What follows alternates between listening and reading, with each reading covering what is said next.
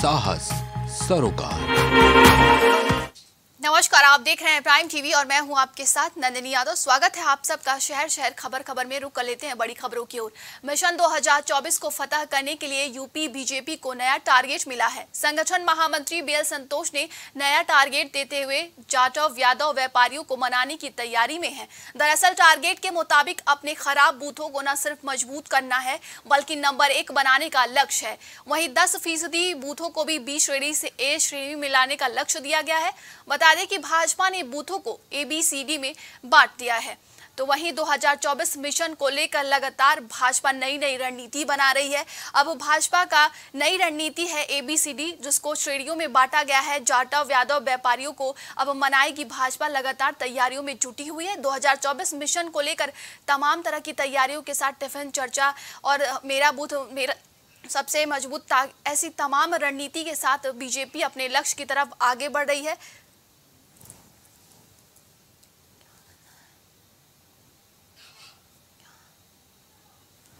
बता दें कि भाजपा नया रणनीति बना रही है बीसी के साथ। 2024 मिशन को लेकर तैयारियों के साथ साथ बीजेपी जिस तरीके से यूपी में 80 का लक्ष्य लेकर चल रही है, उसी के साथ नई रणनीति बनाई है। बताया जा रहा है कि अब यादव, जाटव और व्यापारियों को साधने की कोशिश कर रही है और ये भी बताया जा रहा है कि अब बूथों की जो है श्रेणी बांट दी गई है, जिसमें ए बी सी डी श्रेणी में बांटा गया है। तो लगातार भारतीय जनता पार्टी तमाम तैयारियों के साथ अब एक नई रणनीति बना रही है। बताया जा रहा है कि बूथों को अब एबीसीडी की श्रेणी में बांटा जा रहा है। ज़्यादा जानकारी के लिए इस खबर पे हमारे साथ ब्यूरो चीफ गौरव श्रीवास्तव जुड़ चुके हैं। गौरव, क्या है ये नया टारगेट बीजेपी का एबीसीडी श्रेणी वाला? हमारे दर्शकों को समझा दीजिए। बीजेपी तरह से बोला है कि मार केंद्र में और यहाँ पर अपनी सीटें जीतने का दावा कर रही है उत्तर प्रदेश। जब सत्रह से अस्सी सीटें का हम दावा करते हैं तो निश्चित रूप से हमको रणनीति बनानी पड़ती है। और रणनीति के तहत यहाँ पर काम हो रहा है, जिसके अंदर बीजेपी ने तमाम बूथ है, उनको हिसाब से बांटा हुआ है। यहाँ पर ए बी सी डी चार तरह के बूथ बनाए है। यानी जहाँ पर हम मज़बूत है, वो बूथ को अलग बताया गया है। जो जहाँ पर हम कमज़ोर है, उनको अलग बताया गया है। जहाँ पर हमको मेहनत करनी है, उनको अलग बताया गया है। और जहाँ पर हमको विशेष सावधानी बरतनी है, ये अलग बताया गया है। एबीसीडी के माध्यम से बीजेपी ने नई बूथों का एक स्तर लेवल तय किया है। अगर हम बात करें बीजेपी की नीति की तो सबसे महत्वपूर्ण बात नज़र यहाँ पर यह है कि पश्चिम के तरफ़ बीजेपी ने विशेष ध्यान दिया है और जो बीस श्रेणी की बूथ है, वो सभी पश्चिम क्षेत्र में रखे हैं। कि पश्चिम में हमने देखा था कि पहलवानों के आंदोलन के चलते, किसान आंदोलन चलते बीजेपी को दो हज़ार बाईस चुनाव में भी बहुत फ़ायदा नहीं हुआ था, वहाँ नुकसान हुआ था। तो कहीं ना कहीं पश्चिम की व्यवस्थाओं को देखते हुए पश्चिम उत्तर प्रदेश को बेहतर करने के लिए उसको बीस श्रेणी में रखा है और ये कवायद की जा रही है कि पश्चिम के नेताओं को संतुष्ट किया जाए पश्चिम की जो ज़्यादा बिरादरी है चार बिरादरी है और व्यापारी वर्ग है। उनको भी यहाँ पर ध्यान में रख के काम किया जाए। तो बीजेपी जो बीएल, बीजेपी के जो संगठन महामंत्री है, बीएल संतोष, उनके द्वारा भी तमाम तरह की व्यवस्थाएँ लागू की जा रही है और बताया जा रहा है कि आपको ये नए टारगेट पे काम करना है।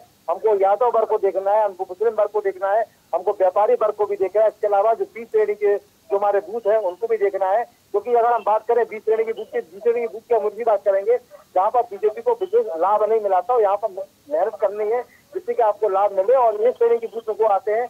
जहाँ पर की एक श्रेणी बूथ हमारा वहाँ पकड़ है तो यहाँ पर पकड़ के हिसाब से बूथों को यहाँ डिवाइड किया गया है, बांटा गया है। और सबके प्रयास यही है कि बूथों पर जीत कर ही हम आगे बढ़ सकते हैं। और हमने हमेशा से देखा है कि बीजेपी बूथ स्तर पर मेहनत करती है, और बूथ संगठन से उनके पकड़ बहुत मज़बूत है। प्रत्येक वार्ड में उनके बहुत सारे लोग हैं, हर बूथ स्तर पर उनका संगठन मज़बूत है, और यहाँ तक की व्यवस्था होती है कि पन्ना प्रमुख की भूमिका भी यहाँ पर बड़े बड़े लोग निभाते हैं। पहले भी देखा है यहाँ से चुनाव हुआ था और केंद्रीय गृह एवं सहकारिता मंत्री अमित शाह वहाँ पर पन्ना प्रमुख बनते पन्ना प्रमुख की भूमिका क्या पता है नंदनी तो एक पन्ना जो होता है जितने भी वोटर आते हैं, वो सब पन्ना प्रमुख के अंदर में आते हैं और यहाँ पर जब केंद्रीय गृह एवं राज्य मंत्री केंद्रीय गृह एवं सहकारिता मंत्री अमित शाह जब पन्ना प्रमुख बन सकते हैं तो बीजेपी समय समय पर सभी को यहाँ पर ज़िम्मेदारी देती है और यहाँ ज़िम्मेदारी के तहत ही। यहाँ पर विशेष रूप से जो बूथ को अलग अलग बांट कर और सभी वर्गों को यहाँ पर ध्यान में रखते हुए नीति बनाई जा रही है और टारगेट दिया जा रहा है। जी।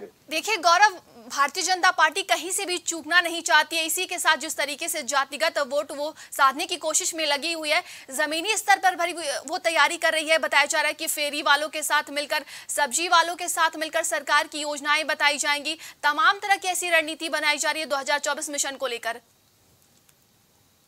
यहाँ पर तमाम तरह की नीति नीतियों लगभग लगभग डेढ़ महीने से नीति देख रहा है।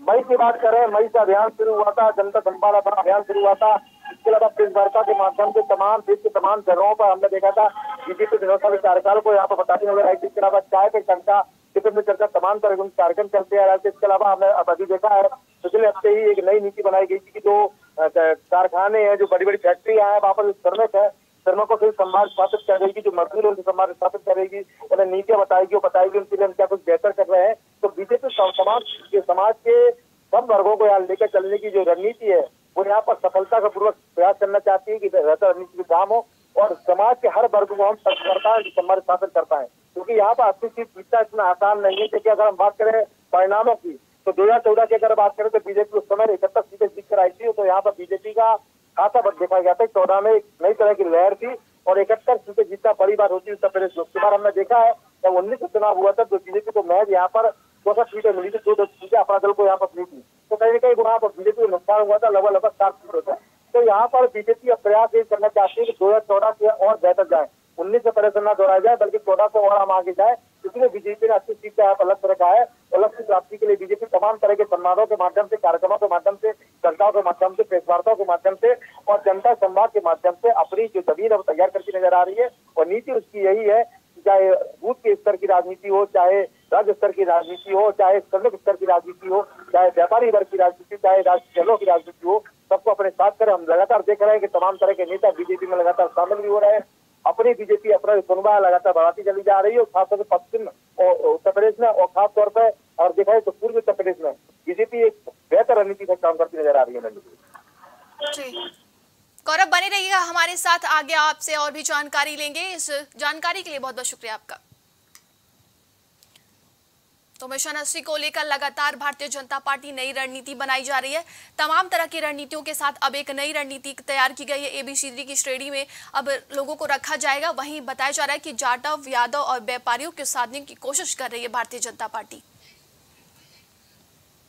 आगामी लोकसभा चुनाव को सभी दल एक्शन मोड में नज़र आ रहे हैं। वहीं लोकसभा चुनाव में सियासी परचम लहराने को बेताब कांग्रेस भी पीछे नहीं रहना चाहती है। राहुल गांधी भी भारत जोड़ो यात्रा टू में यूपी का दम नज़र आएगा। वहीं 80 लोकसभा वाले इस प्रदेश में राहुल की 20 से 25 दिन यात्रा निकालने की प्लानिंग है। सिर्फ़ यही नहीं, प्रियंका के अलावा उनके साथ विपक्ष के बड़े चेहरे अखिलेश यादव, जयंत चौधरी और तेजस्वी यादव भी नज़र आ सकते हैं। यात्रा में ज़्यादातर फोकस पश्चिमी यूपी पर रहेगा। इसके ज़रिए कांग्रेस लोकसभा की 27 सीटों को साधने की कोशिश करेगी। दरअसल राहुल 15 अगस्त से भारत जोड़ो यात्रा का पार्ट टू निकालने की तैयारी कर रहे हैं। इसकी शुरुआत गुजरात के पोरबंदर से होगी। समापन नॉर्थ ईस्ट में त्रिपुरा की राजधानी अगरतला में होगा। वहीं भारत जोड़ो यात्रा के फ़र्स्ट फ़ेज़ में राहुल ने करीब 4000 किलोमीटर का सफ़र तय किया था। तो एक बार फिर से रुक करते हैं गौरव श्रीवास्तव की तरफ़। गौरव, अब बताया जा रहा है कि भारत जोड़ो यात्रा का पार्ट टू आने वाला है, जिसमें मिशन यूपी होगा। जी, बिल्कुल रंजनी, यहाँ पर चूँकि राहुल गांधी पहले भी बड़ी यात्रा कर चुके पच्चीस दिन की यात्रा थी, जो यात्रा कन्याकुमारी शुरू हुई थी और कश्मीर के लाल चौक खत्म हुई थी और इस दौरान यात्रा के दौरान राहुल गांधी के सभी वर्गों से लोग मिल रहे थे और उससे जुड़ रहे थे और हमने लगातार देखा है। बड़े स्तर पर यात्रा थी सभी सत्तर किलोमीटर की यात्रा थी इस यात्रा के माध्यम से राहुल गांधी ने अपनी छवि को बहुत अच्छी तरह से बेहतर तरीके से व्याख्या करने का प्रयास किया था और जनता के बीच लोगों को सम्मान पात्र करते नज़र आ रहे थे। लोग लगातार तमाम तरह की तस्वीरें हम लोग देख रहे थे वीडियो देख रहे थे जहाँ पर लोगों का समर्थन उनको मिलता दिख रहा था।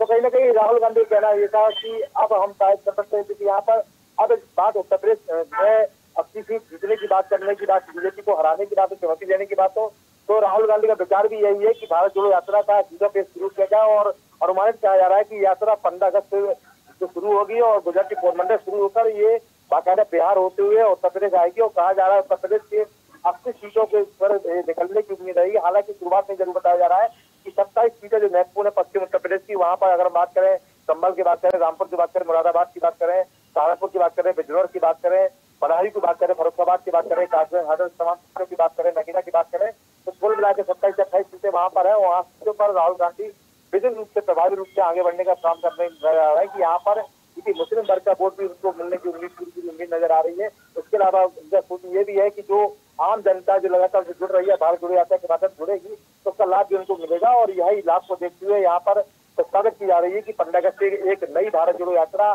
फ़ेज़ टू यहाँ पर शुरू होगा। हालाँकि इस बार थोड़ा अलग ये है कि इस बार जब, इस बार मैं देखा था, जब उन्होंने भारत जोड़ो यात्रा का के लिए तमाम लोगों को लेटर लिखा था चाहे अखिलेश यादव की बात करें, चाहे जयंत चौधरी की बात करें, चाहे तेजस्वी यादव की बात करें, सभी जगह उनके केवल शुभकामना बीजेपी अलग है।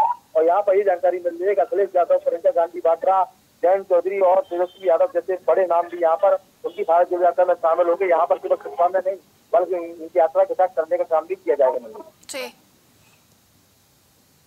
गौरव, देखिए, वहीं पर कहा जाता है कि जिस तरीके से यूपी में कांग्रेस अपना जमीनी स्तर खो रही है तो क्या लगता है कि भारत जोड़ो यात्रा पार्ट टू से वाकई कांग्रेस को मजबूती मिलेगी क्या?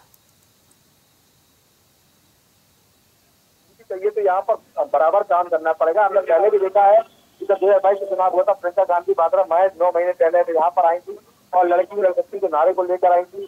तमाम तरह के पेपर उन्होंने जारी किए थे। तमाम राज्यों के जो मुख्यमंत्री है, वो भी यहाँ पर आकर बैठ रहे थे। और सरकार की नीतियों को बता रहे थे, जिन्होंने काम बेहतर किया, उसी बात की उदाहरण वो उत्तर प्रदेश को देना चाह रहे थे कि उत्तर प्रदेश यहाँ पर कांग्रेस को आप साथ देंगे तो उत्तर प्रदेश में भी तस्वीर बदलेगी। उसके अलावा उन्होंने चालीस परसेंट महिलाओं को टिकट भी देने की बात कही थी, जो किया गया, पर यहाँ पर तस्वीर नहीं मिल पाई और प्रदेश में कांग्रेस को नए दो सीटें मिल पाई। तो कहीं ना कहीं यहाँ पर अगर आप समय पर ही आएँगे तो यहाँ पर जनता आपको नकार देगी। अगर वास्तव में उत्तर प्रदेश में कांग्रेस पार्टी अपने आप की पूरी ज़मीन अपना पाना चाहती है तो उसको सशक्त प्रदर्शन करना पड़ेगा, संघर्ष करना पड़ेगा, जनता के मुद्दों के लड़ना होगा। दूसरा उनको नज़र नहीं आ रहा है कि राहुल गांधी के सजा को लेकर वो लड़ सकते हैं, नमक सत्याग्रह को लेकर बात कर सकते हैं और एक अलग सत्याग्रह की बात कर सकते हैं। राहुल गांधी सजा हुई तो प्रदर्शन कर सकते हैं, पर जनता के मुद्दों पर अब तक प्रदर्शन देखने को नज़र नहीं आ रहा है, जो बहुत आवश्यक है, क्योंकि मैं पहले भी देखा जाए, दो हज़ार चौदह की बात करें, जब मनमोहन सरकार थी, उससे पहले तब हमने देखा है कि दो हज़ार चौदह से पहले बीजेपी लगातार प्रदर्शन करती थी उनके तमाम बड़े नेता सिलेंडर लेके आलू के माला पहनकर सरकार की नाक बदम करते तो बताते थे महँगाई की मार अब जनता नहीं झेलेगी। और तमाम तरह की जो विरोध थे वो दिखाते थे कि बीजेपी ने विपक्ष की भूमिका बहुत बेहतर तरीके से निभाई थी। तो उसका परिणाम ही रहा था कि दो हज़ार चौदह में बीजेपी यहाँ पर पूर्ण बहुमत के साथ आई थी। तो कहीं ना कहीं यहाँ पर कांग्रेस को भी बड़ी नीतियाँ बनानी पड़ेगी मेहनत करनी पड़ेगी संघर्ष करना पड़ेगा और ज़मीन तैयार करनी पड़ेगी। भारत जोड़ो यात्रा अलग बात है ठीक है भारत जोड़ो यात्रा कर रहा है अच्छी पहल है और भारत जोड़ो यात्रा से पहले उनको तमाम जमीनी मुद्दों पर यहाँ संघर्ष करना पड़ेगा। समय बहुत कम बचा है ऐसा ना होगा समय से पहले जागृत नहीं होंगे काम नहीं करेंगे।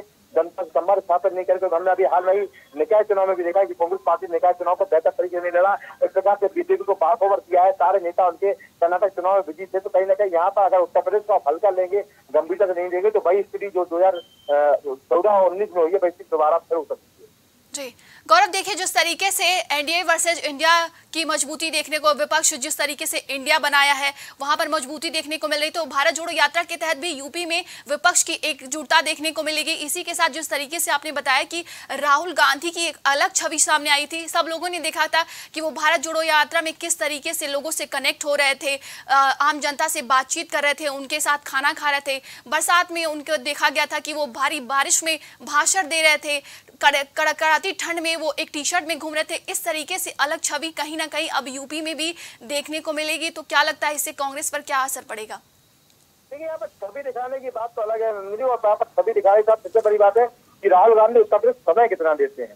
केवल यहाँ पर बात करना, भारत जोड़ो यात्रा निकालना में खाना खा लेना हाफ़ टी शर्ट पहन के सर्दी में यात्रा करना ये केवल ज़रूरी नहीं होता, जनता अपने मुद्दों के लिए बिगड़ जाती है कि विपक्ष संघर्ष कितना कर रहा है। राहुल गांधी उत्तर प्रदेश कितना समय देते कितनी उत्तर प्रदेश में आते हैं, ये भी महत्वपूर्ण है।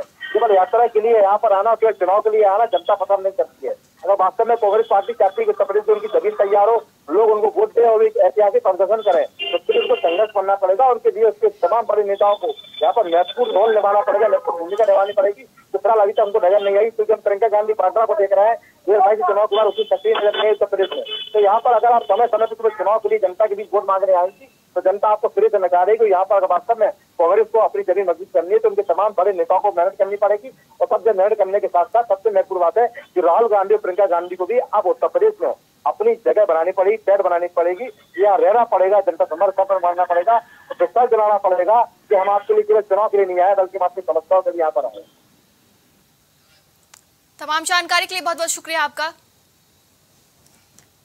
तो बता दें कि भारत जोड़ो यात्रा पार्ट टू की तैयारी की जा रही है। कांग्रेस की तरफ़ से बताया जा रहा है कि 80 मिशन को लेकर लगातार अब कांग्रेस भी सक्रिय नज़र आ रही है। इसी के साथ वो अब भारत जोड़ो यात्रा पार्ट टू निकालने की तैयारी में लगी हुई है।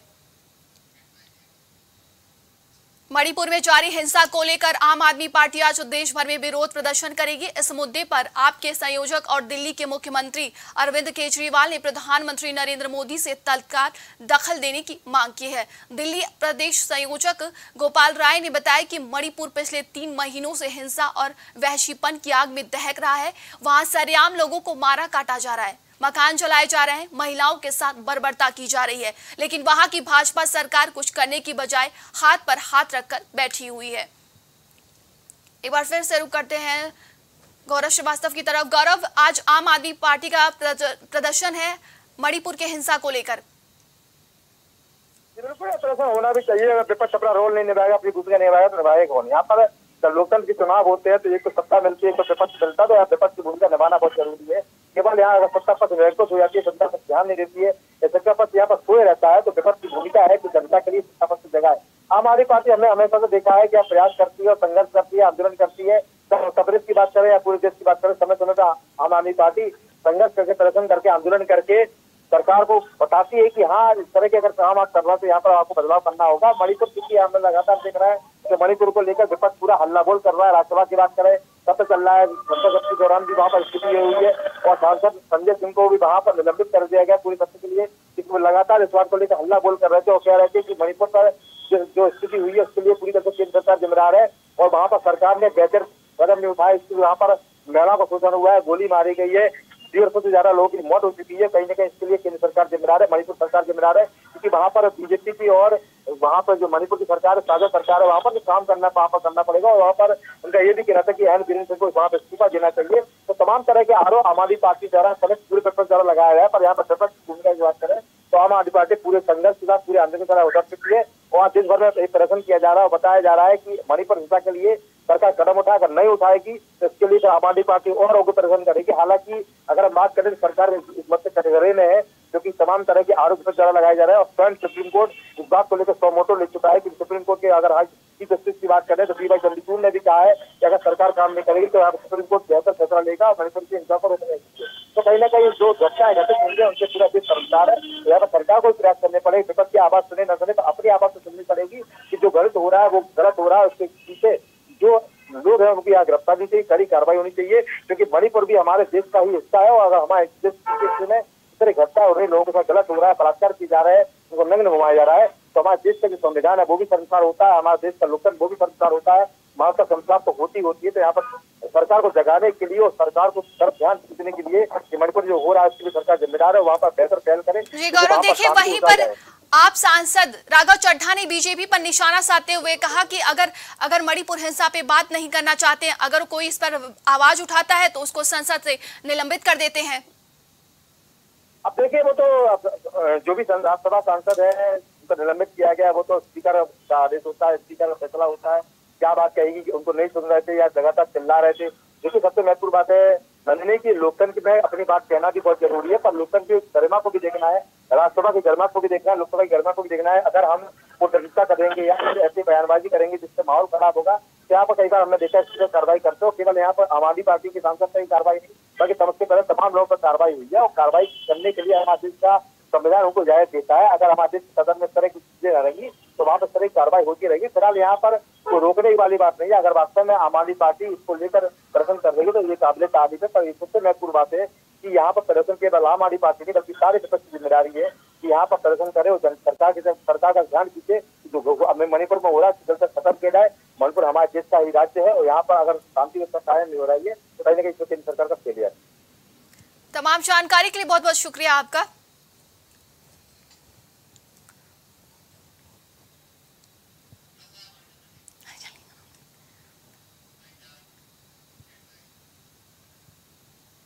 शहर शहर खबर खबर में बस इतना ही। देश दुनिया की तमाम खबरों के लिए देखते रहिए प्राइम टीवी